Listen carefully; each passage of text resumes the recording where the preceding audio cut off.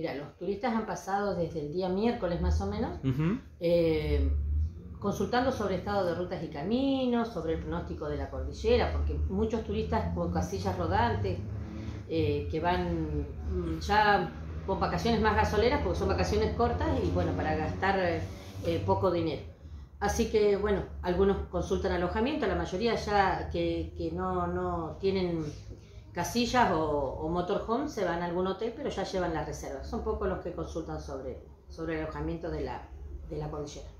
Así que bueno, eh, nosotros estamos acá las 24 horas, así que algunos que viajan de noche y paran a los baños públicos o, o a buscar agua caliente nos, nos hacen las consultas. Bien, eso es, eh, eh, digamos, este sector trabaja 24 horas, eh, queremos recordar eso. Sí, sí, sí, 24 horas siempre trabajamos de esa manera, eh, atendiendo las necesidades de la comunidad nuestra. Por otro lado, bueno, eh, también los trabajos de prevención, sabemos que estuvieron el otro día haciendo prevención en lo que fue la última cena.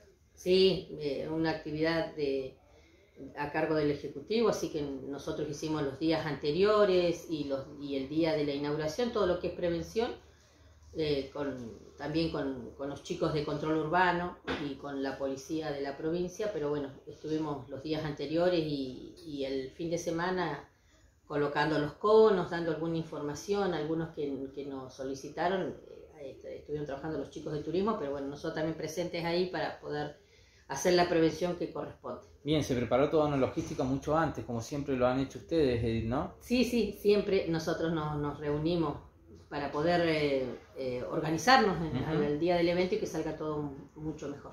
Bien. Eh, bueno, por otro lado, ¿cómo, cómo, eh, más que nada, cómo está el tiempo, está, eh, lo que espera de esta nueva semana, ¿no?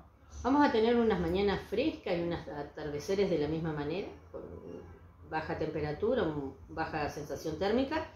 Ingresa un frente de aire frío y húmedo desde Pacífico el día martes, que va a traer nieve y lluvia para la cordillera, baja temperatura para nosotros, con algo de humedad el martes y miércoles en la madrugada y eh, ya el jueves, bueno, estaría presente el viento, que no sería tan fuerte, pero bueno, tendríamos presencia de viento que va a secar la humedad que nos vamos a tener